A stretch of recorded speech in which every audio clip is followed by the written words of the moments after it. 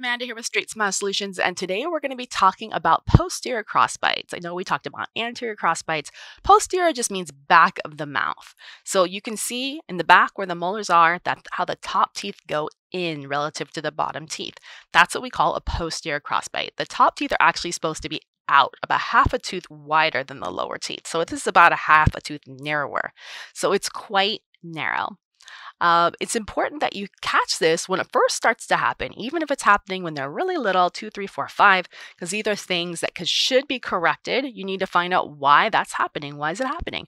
Most likely it's related to diet. It could be related to thumb sucking. It could be related to bottles, pacifiers, um, many different things, but you do need to correct it I would say as soon as you start to see it. I would not wait till the child is 10, 11, 12 because it makes it much more difficult to correct and makes it much more uncomfortable and sometimes makes it less stable to correct. And there can be lots of health benefits to getting the upper arch to the proper width, you know, in terms of airway, tongue position, speech, and other things. So, any questions? This is something I feel very passionate about.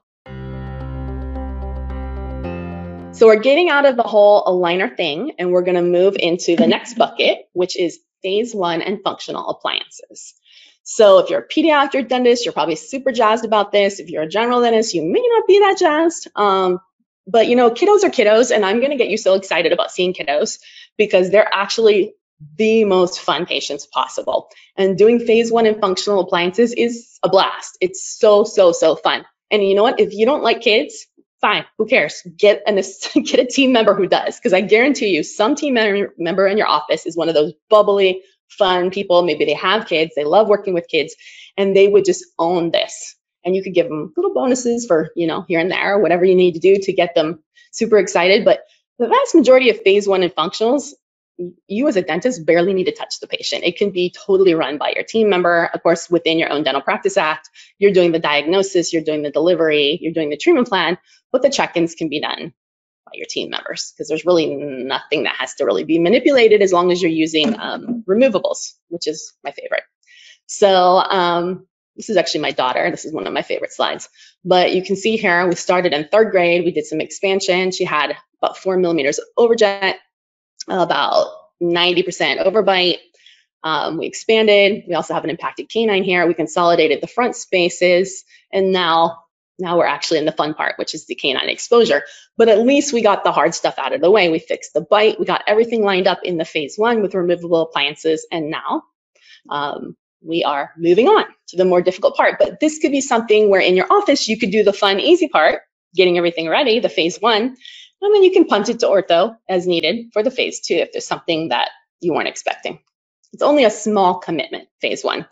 So phase one is a small commitment, you know, normally around six to 15 months, depends on when you're starting, where you're just fixing, it's interceptive, right? You're fixing initial problems so that everything, if you line it all up and you get the space, everything is gonna just come in hopefully peachy, you know, at the end.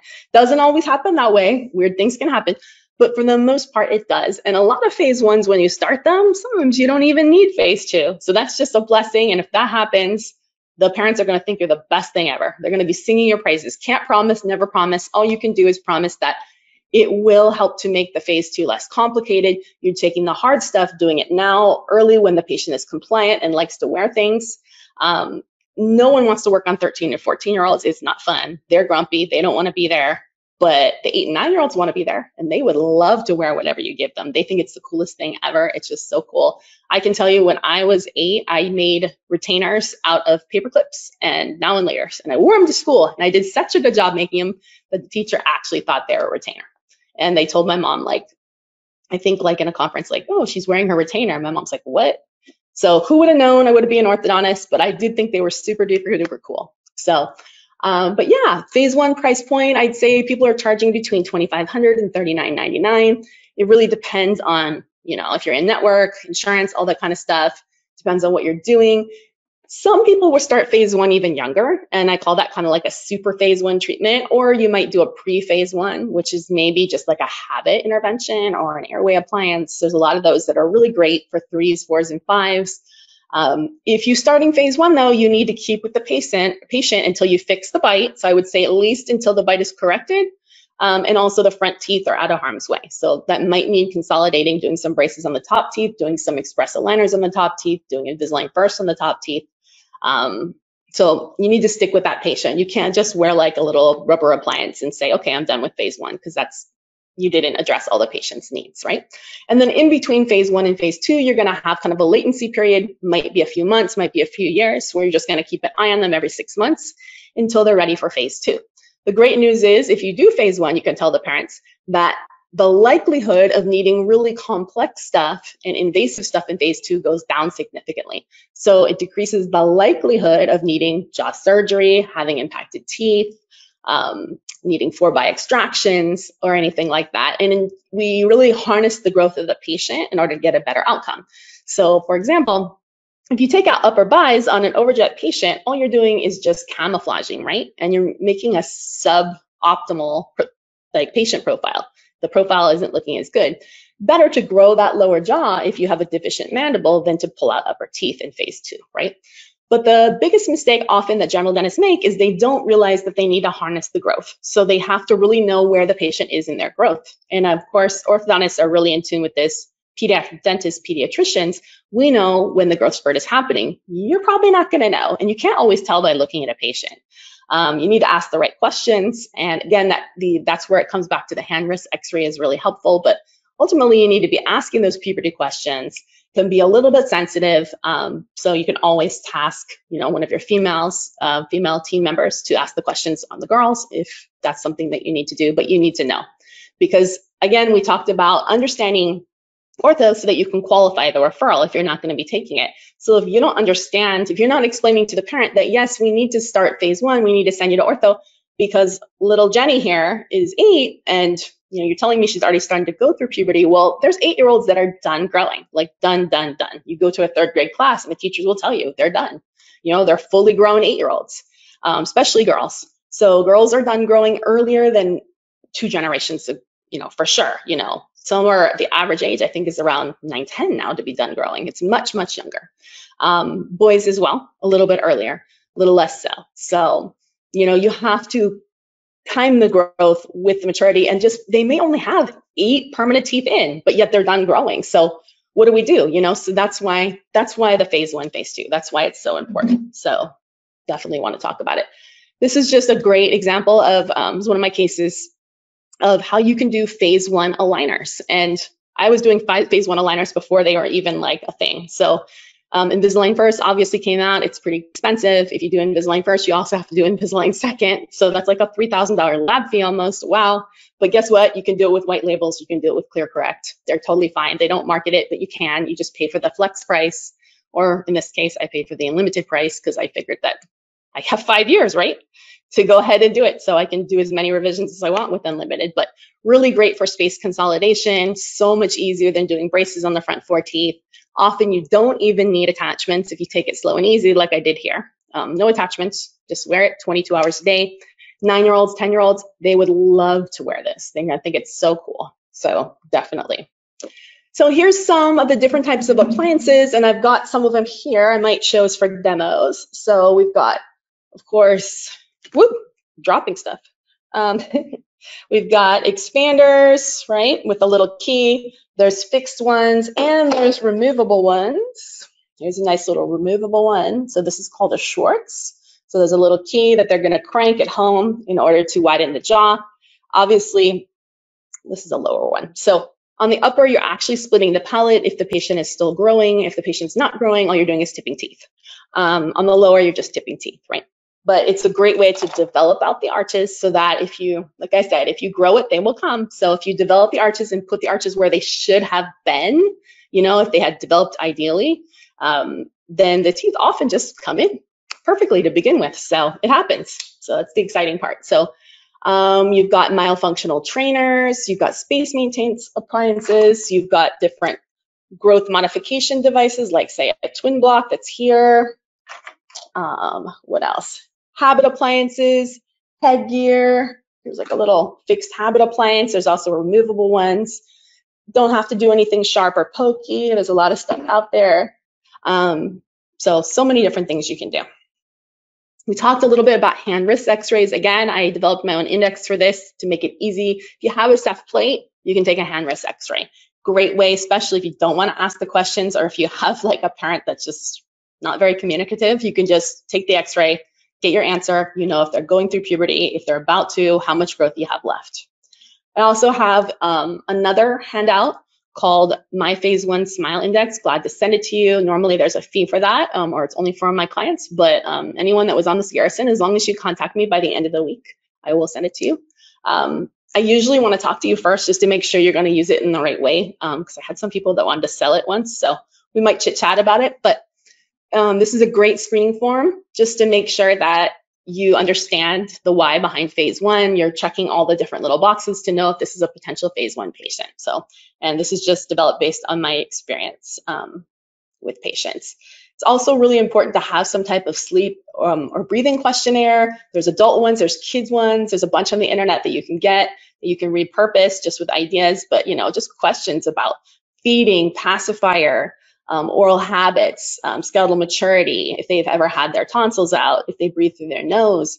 I do recommend that you also take the time, in, especially if you're seeing like patients with open bites or narrow upper jaws, um, to if you're seeing, you know, something that looks kind of off with the bite, to have the parents fill out a questionnaire like this. But more importantly, I would say have them come in, you know, at like 10, 11 o'clock at night, get their their phone and tape the patient you know, it doesn't even have to be. It'd be nice if, if it's a video because it's nice to see them kind of their mouths open, stuff like that. But five ten minutes, a couple different blurbs, bring it into you, look at it, and you're going to see some a lot of really interesting information about the patient's sleep, which is directly related to their orthodontic condition. So it's really quite intertwined. And parents often have no idea that, hey, you know, if I fix their bite, they're going to be sleeping better. Well, if they're going to be sleeping better, they're going to be acting better. They're going to be I mean, this is, I know you're extrapolating it way out, and I know it's really kind of fashionable right now. There's a lot of different courses about this, but it really is true. We can't, we can't make promises like, oh, we're going to cure this, this, you know, this kid from this condition, but you can say that there is a correlation and that often having an, a, patent airway, a really good airway when the patient's sleeping has a lot of favorable health considerations. And that's pretty much what you can say. You know, and that includes, of course, Mallampati, checking all that, checking adenoids, checking tonsils, and just having an idea about the airway. So talk a little bit more. We've talked about um, expanders, fixed, removable, bonded, so many different options out there. The cool thing about expanders is that you can bling them out, especially the ones with acrylic, the removable ones. The patient can customize them, put de- you know decals on them, really own it, and they just get so excited. I'm much more of a fan of removable expanders. I have no problem getting patients to be compliant. It's all in how you explain the why behind it usually you're going to have way more emergencies with a fix than you were with a removable. And I mean, they're not like huge emergencies, but it's annoying, you know, in terms of disruptive for a practice. So removables, I mean, it's fully on the patient to wear them. So, but for the vast majority, they wear them great as long as you explain, and and you don't have to worry about all the food getting stuck up there and the infections and stuff like that can happen. All right, let's get started. So you've probably heard me talk about rapid palatal expanders before. I'm a huge fan of them. They're great. Um, this is a banded one, so that means that they can fit the bands for you. Um, but it's always better, I think, if you drop some spacers in first. It just helps them be able to fit the bands better. Um, and then do your scan or impression like about a week in advance. Uh, you can also fit your own bands and do a pickup impression, but that's a little bit tricky sometimes because they can lift when you pour them up, so I wouldn't recommend that. Let the lab go ahead and fit your bands. Just remember if you're doing these kind of expanders, I recommend knowing the skeletal age of your patient before you do it. If you don't know how to do that, we've got tons of videos on that, or you can go ahead and connect with me. It's really important that you're not doing these on skeletally mature patients. Or if you are, you need to know what you're doing because there's huge risk. So I don't recommend that um, unless you have experience doing that. So side effects are significantly bigger. All right, so back to the uh, Hyrax RPE, usually used on growing kids or young teens to expand skeletal crossbites, develop arches, etc. Short, in short, the amount of turns is really going to depend on the skeletal age of the patient, what you're trying to accomplish. So I can't give you a one size fits all approach. Um, but this is generally done faster than some of the other appliances, the banded ones. So you're going to see a pretty rapid result, but at the end, it needs to be retained or stabilized. So ultimately, it all takes about the same amount of time. This is a quad helix. So a quad helix is a slower expansion device. You cannot leave this in here for a really long time because all sorts of crazy things will happen to the arch, to the teeth, to the buccal plate. I've seen it. You don't want to do it. So the from my experience, I usually leave these in about three, four months max um, just to develop the arch. I use these in adults to develop the arch for really slow expansion. You do have to activate these. Um, sometimes they come pre active, so you need to know the difference. You can't just plop it in if you don't know what you're doing. Um, I will do some videos on activating it later. Um, it's a little bit tricky, uh, but once I have one in my hand, I will do that for you. All right. So the next one that we're going to do here is what I call a bonded Hyrax. It's basically a banded one that we saw up here, okay? But there's acrylic over it. So it's great for open bite patients. That's what I would use this for, or and or open bite non-compliant patients will be really great. If you want to make it extra funky, you can put a thumb crib or a tongue crib on the front. Kind of mean, but um, it's really really effective with open bite patients. So that's one of my favorites. Downsides, um, kind of hard to eat also, there's a risk for decay, so please don't put this in your non-compliant patients that you aren't following up with, but it's a great appliance. Works the same as this one up here, same stipulations and regulations. Next one, I call this a unilateral Schwartz. Maybe I should go to the regular Schwartz first. This is your standard Schwartz, okay? So this is basically a slower version of the RPE that we had up here. Slower, um, less turns, great because it's removable, customizable, fun colors. You can do it a little bit in a little bit older patient, or you can do it in a really little patient. You don't have to worry about having permanent teeth in, banding to permanent teeth. Um, very compliant. So I think that's a great appliance. I use them all the time. It can also be customizable. You can add um, acrylic to the posterior teeth. I don't have that feature right now to help with open bites or vertical issues. You can add a thicker bite plate on the anterior to help with deep bite issues. Fantastic appliance, by far my favorite. This is like kind of a funky version of it. As you can see, this probably is for a patient that has some type of unilateral crossbite issues. Dr. Amanda from Straight Smile Solutions, and today we're going to be talking a little bit more about expansion, specifically expansion in phase one patients and when to use an expander. And Unfortunately, there's no like easy way to wrap this up in a tidy box with a bow. Um, it really just comes with experience. Um, but I'll go through a few scenarios and give you a few tips of kind of how I advise my clients when to expand and how I teach them about expansion. And over time, as they start to see more and more patients, they start to understand. So, um, if you have any questions or if you need help with a case, feel free to visit straightsmilesolutions.com. There is a link under the services page um, to sign up um, so that we can help you immediately with your cases. So, basically, in a nutshell, let's talk a lot about what is an expander and what, what is expansion. So, you can get expansion in a variety of different ways. If you're looking for dramatic expansion or expansion more to two to three, more than two to three millimeters, I do recommend an actual expander. This is a fixed expander right here. This is a Schwartz, a removable expander. Um, you can see that there's an like a jack screw in the midline area. So a fixed one means it's glued in. In order to make this one, you're going to want to put spacers in first if you need them. Um, take a scan or an impression, send it to the lab. They'll fit the bands and construct this.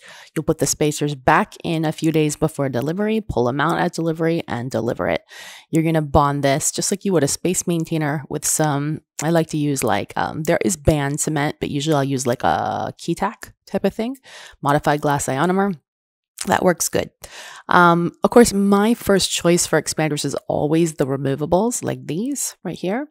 Um, just speak for hygiene, for our patient experience. If you'd start doing a lot of bandage, you're going to have a lot of emergencies and a lot of drama. Um, so always good to start with the fit with the removable, um, explain compliance to the patient and parent, and explain the upgrade fee process if they need to upgrade to banded I usually recommend charging an additional maybe 200 to 300 um, per arch if they if they don't if they are non-compliant and they need banded of course if the parents are adamant that they want banded and not removable that's fine. You can start there.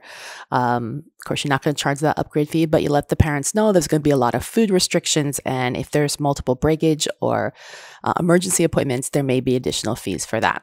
Um, usually, like I said, this is just a way better experience for everyone. There's almost no eight, nine, 10 year olds, seven, eight, nine, 10 year olds that I can't get to be compliant, you know, assuming that I, I, get a pretty good vibe initially when I get to know the parents and the kids, see how the, the uh, dynamics are going. I'm looking at lots of things on the kids. Is the kid brushing her hair, brushing their teeth, um, trimming their nails? How's the skin? How are they dressing? Are they generally a compliant child? And how much, how is the relationship between the parent and, and patient? is this something if I give them something simple to do, which is just putting this in your mouth and wearing it during the day, taking it out during lunchtime, putting it in a case and brushing it, are they going to be able to do this? And if I see a patient that comes in who's disheveled, um, unwashed, unbathed, can't handle basic hygiene, then no. I'm, matter of fact, I might not partner with them at all, or I might wait till they get a little bit older. So just things to think about. So, anyways, I digress. So you can get some expansion in these type of um, pediatric, uh, what do we call them? Bio Biotrainers. You can get maybe two to three millimeters max. But if you're really looking for dramatic expansion, you really got to go with the expanders. Um, for me, I like to go slow and low unless there's some reason some urgency and it really depends on the frequency of turns really will depend on the age of the patient the skeletal maturity of the patient what we're trying what our objectives are um, usually maybe two or three turns um, on a removable per week, maybe a little bit more on a fixed. Um, total turns will depend on the patient responds. You have to keep a, a close eye on it. Um, you know, of course, don't want to overturn. Um, you want to make sure the patient's coming back regularly every two to three weeks or three to four weeks in your office to be checked. You're checking a bunch of stuff. We can talk about what that looks like. So, I mean, if you, I had one patient that they basically ghosted. They disappeared. They hadn't expanded and they were just cranking it like crazy. Of course, there's a limit eventually to how much it cranks, but I mean, they totally blew the bite, you know. Um, they, you know, we lost control of them. We tried to get a hold of them. We were sending them letters and certified letters, but you really don't want to be partnering with parents that you don't have a good connection with because you are basically breaking the patient's jaw. You know, you, it's not fused, so it's not broken, but you're, you know, distracting it. Um, and things can happen if it's done incorrectly. So you don't just want to be doing this, you know, out of control. Okay, so more things. I mean, you can bling out these expanders in a variety of different ways to control habits, tongue position, tongue thrusts. Um, you can also straighten teeth by putting all kinds of little screws and pistons in them. There's so much cool stuff you can do. The cool thing is, is that if you expand patients when they're young, um, you know, with these kind of 100 to $200 expanders, and just let them be, the teeth actually come up usually quite ideally to begin with. They don't come up crooked because you made space for them. You know, assuming you're doing this before too many teeth are in, you know, when the patient is six, seven, eight, nine, maybe. Um, not when the patient's 11, that's not going to do much. You're going to have to do braces too. A lot of times, if you do this really young, you don't even need braces. Or if you do, it's it, the need is like need, not need. It's it's a want. It's not a need. It's just aesthetic. So that's pretty sweet. And you can take a case from a two year braces case with extractions down to a three month clear aligner case, you know, just because you made space at the beginning and it ends up being way cheaper. Um, again, more cool ways. I mean, you can make these things really fun. If you're going to put all kinds of bling and glitters and decals in them. Of course, it's going to cost a little bit more. This is an expander here as well, but this is also an expander that helps to, it works similar to the Invisalign MA appliance. As a matter of fact, this is the original Invisalign MA appliance. This is a twin block. So um, it's going to advance the mandible, help grow the mandible, as well as correct the jaw. Um, and the bite. So that's pretty cool. I mean, what type of seven, eight, nine year old girl would not want to wear this to school? They trust me. They all want to wear this to school. That's really cool. So, um, again, more different modifications. This one you can use, this is an older kid, so you're using it the same time as braces. Um, this is a fixed appliance, but it has acrylic on the posterior teeth. This is like caries waiting to happen. You have to have a really great patient. You got to have a really close eye on this, but this would be really great for a patient who maybe had an open bite or a habit well, an open bite because this is going to help to close an open bite. All that acrylic on the posterior teeth intrudes the posterior teeth, closes down the bite. So, and you can make the opposite for a deep bite. So, so many cool things you can do for $200. So today we're going to be talking about expanders in general, and it doesn't matter whether this is a fixed expander, a metal expander, if it's cemented to the teeth, if it's removable. This is a removable type. It actually comes in and out. Let's just pretend like it's all the same, really. So this is a standard upper retainer, uh, excuse me, upper expander. You can see here, there's two holes, okay? There's a top hole and a bottom hole. When we put the key in, we're going to want to put the key in towards the top hole. By top, I mean the, the hole closest to the front teeth, okay? Now, there's all different ways to kind of do it incorrectly. And unfortunately, if you do it even a little bit incorrectly, it doesn't work. So I'm going to try to show you the right way to do it. And then I'm going to show you some of the wrong ways to do it. And hopefully um, you'll get the hang of it. It takes some time. So put your key in the top hole, the one closest to the front teeth. Okay. Not in the bottom hole. So let's go ahead and do that right now. Now, the one of the keys or one of the key points is you need to make sure the, the hole is clean. So if it's not clean, make sure your child brushes it first. And you put the key in, and then you're going to go ahead and turn it towards the middle of the mouth, towards the palate. Okay. So I'm turning it, turning it, turning it, turning it, turning it until a new hole comes up. Can you all see the new hole? And it needs to be a full new hole, not a half new hole, a full new hole. Then when you pull it out, you want to pull it out. I usually use another finger towards the middle of the mouth. Make sure you don't rock that turn back. Make sure the new hole, the full new hole is still there the whole time. There you go. So watch this. Boom. Take it out. Sometimes it's tricky. You don't want to stab the patient. But see, my new hole is still there and you can double check it. Make sure it's still there. Make sure it's a full hole. You should be able to put your key in. Yes, I can. And you're done. That is your turn. Now, the actual amount of turns that you want to do is prescribed by your doctor. You cannot decide because it really depends on the skeletal maturity of the patient, um, how fused the palate is. There's a, so many dynamics and variables that goes into picking how many turns and how frequently you do the turns. So I'm not going to tell you that. It is a special algorithm just for each patient. And if you overturn expanders, very, very, very bad things can happen. Okay. If you underturn expanders, so what? It takes a little bit longer. So listen to your doctor and make sure you're coming regularly for your appointments. Don't keep turning if you haven't seen your doctor as requested. That's my, my key for you. You don't want to be in that situation. So, okay. So I showed you how to do it correctly, how not to do it. So how not to do it, of course, would be to do it the inverse way, to do it backwards. That would be making your palate smaller and not bigger, right? Um, another way to not do it is to turn it halfway or to turn it down. And then when you pull it out to rock it back up. So basically you're just going like that, back and forth, back and forth. You're seesawing instead of doing the full turn. So what should it feel like after you do your turn? After you do your turn, it's likely going to feel like a lot of pressure. So sometimes it's good to do your turn at nighttime right before bed after child's brushed and flossed their teeth.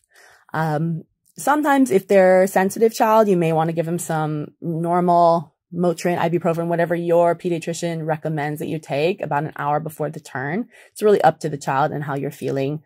Um, pretty much that's it. Uh, you do your turn and then you wait until the next turn is supposed to happen. So and most likely you'll be coming back regularly to visit your doctor to check on the turns. They're going to be checking all different things to see how the turns are going.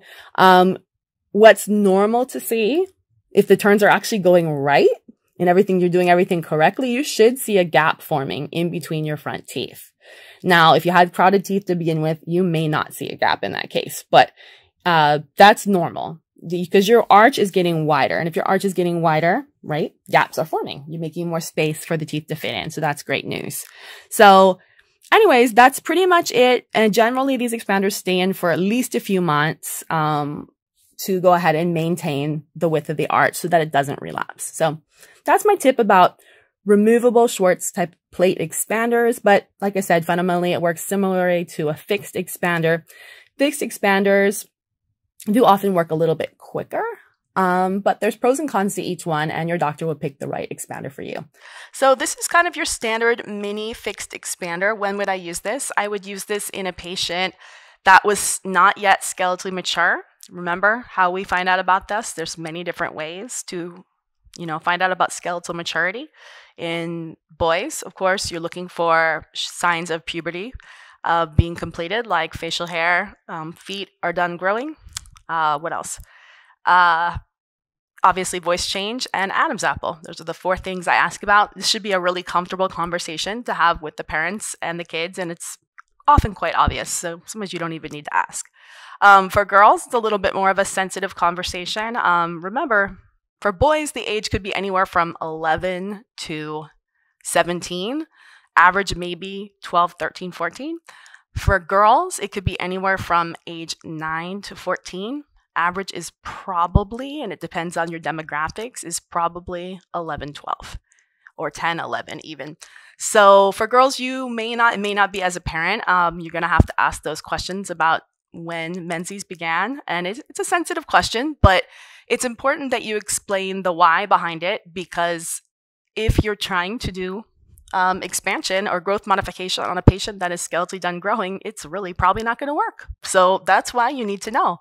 So um, if somehow you can't get that information for whatever reason, and I don't see what not, or if the answer is no, they're not skeletally mature, but you're trying to figure out what type of wiggle room you might have. Another great idea is to take a hand wrist x-ray. You can do that on a regular Ceph plate. And there's some there's some give and take and learning how to do it. But if you do take a good hand wrist x-ray, I can teach you how to interpret it. It's very easy to tell to read the growth plates. So anyways, back to our expander here from Specialty Appliances. This is a standard mini expander. It also has soldered face bow hooks on it. Um, these face bow hooks can be used for protraction face mask or advancing the maxilla in a growing patient to jump a crossbite. They're fantastic. It's really easy. Check out some of our previous videos. But today we're talking a little bit more about how to turn the fixed expander.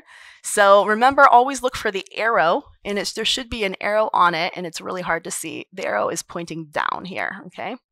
Um, this 12 tells you, well, if I turn it over, you can see the 12 better.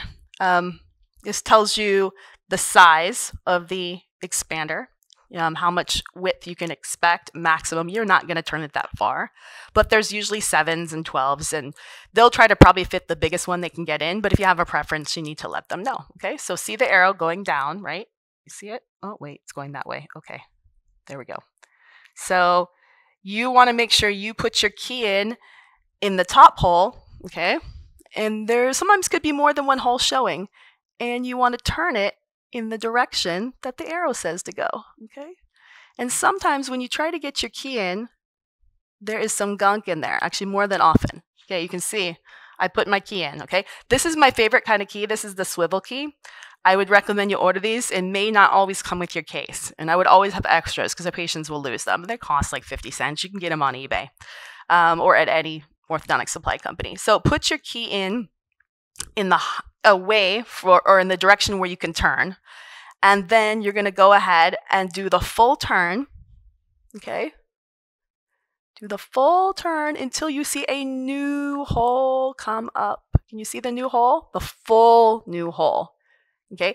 This is the key. When they pull this out, remember, this is the patient's laying down, so this is a little trickier and it's kind of dark. So someone needs to be holding a flashlight. You have to have a bright light.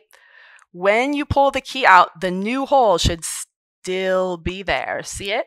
And if they're not sure, because you don't want to rock it back, then you should put your key in the new hole and make sure that you can put your key in the new hole, which I can. I just did. So, anyways, that's the that's the trick for the expander. And I would definitely have the parent practice it outside the mouth. I'm going to roll this turn back now, just so we have it ready to go again. But I would definitely have the parent practice outside the mouth before you glue it in, and then have the parent do the turn in the mouth while you are still watching it. Now I'm rolling it back. This is not the way to do it, okay? But, and different expanders are going to turn different directions, so you just have to follow the arrow is the main thing, okay?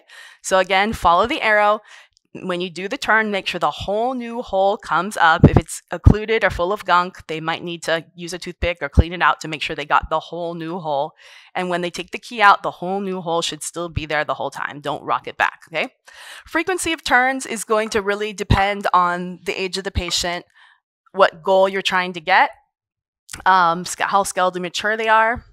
So some people are turning once a day. For this fixed one, obviously Schwartz is a removable and they're going to be a lot slower. Some people are turning three times a week.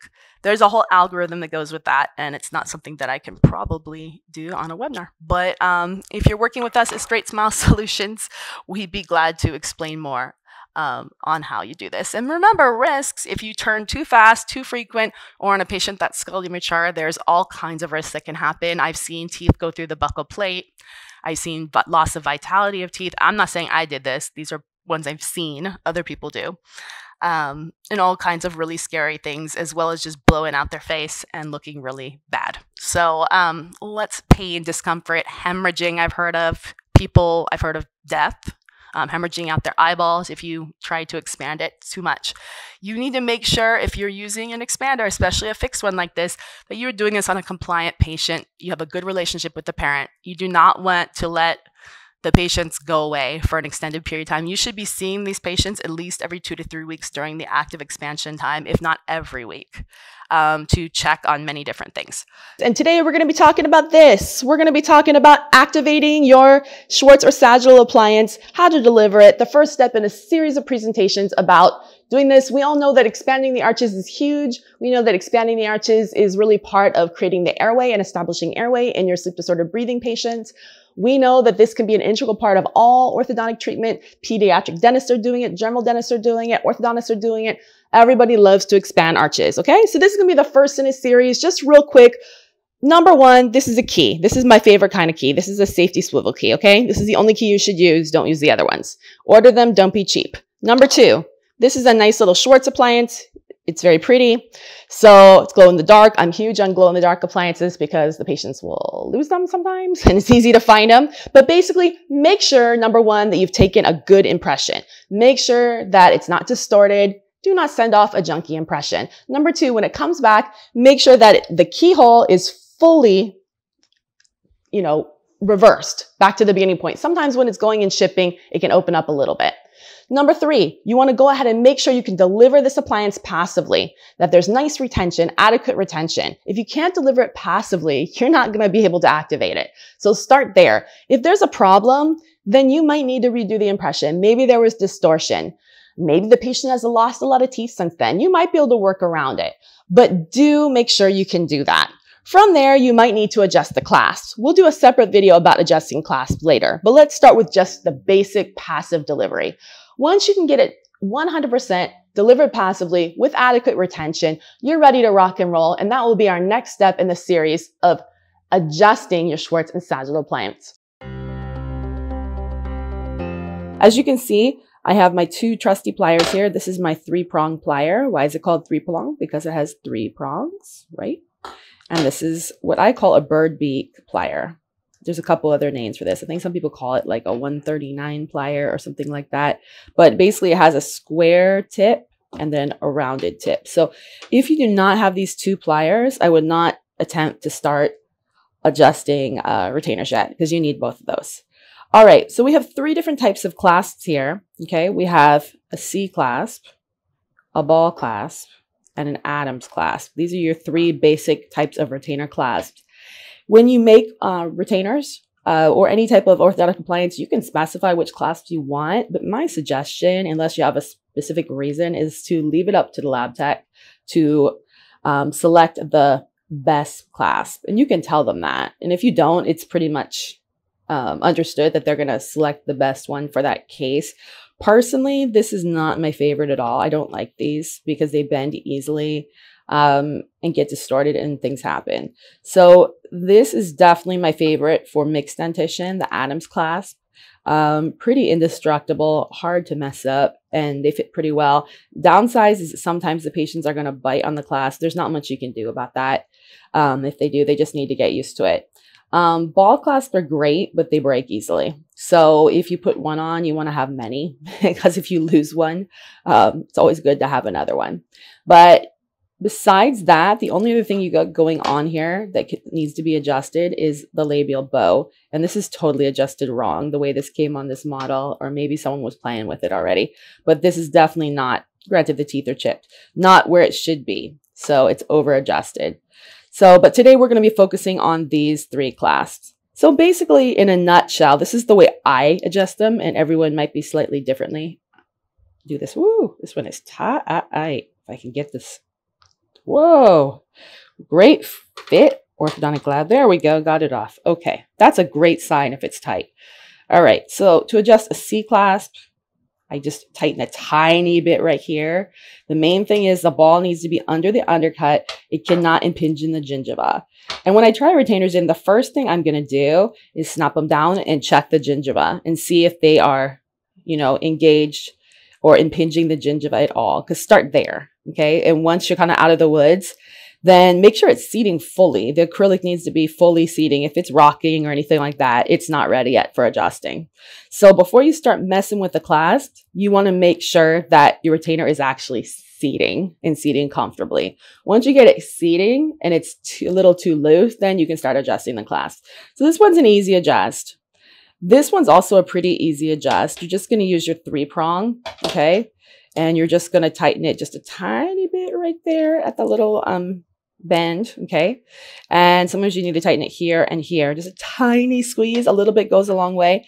If you overdo it, you can either flip this around and do it the other way, or you can use the square portion of this to go ahead and loosen it. And you know what? You're just going to need to play with it to try to practice it. But, you know, in a nutshell, it's something like this, okay?